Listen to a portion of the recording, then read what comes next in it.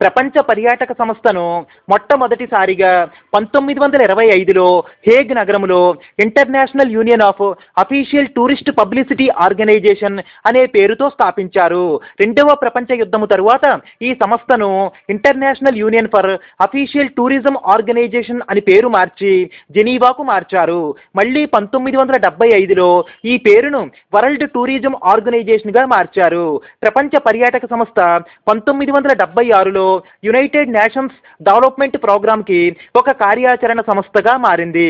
పర్యాటక రంగాన్ని అభివృద్ధి చేయటం తద్వారా ఉపాధి కల్పించటం మౌలిక సదుపాయాలు అనగా రోడ్లు విద్యుత్ టెలికమ్యూనికేషన్లను అభివృద్ధి పరచడం ద్వారా విదేశీ మారక ద్రవ్యాన్ని ఆర్జించటం ఈ సంస్థ యొక్క ముఖ్య ఉద్దేశము. దీని ప్రధాన కార్యాలయం స్పెయిన్లోని మాడ్రిడ్లో కలదు.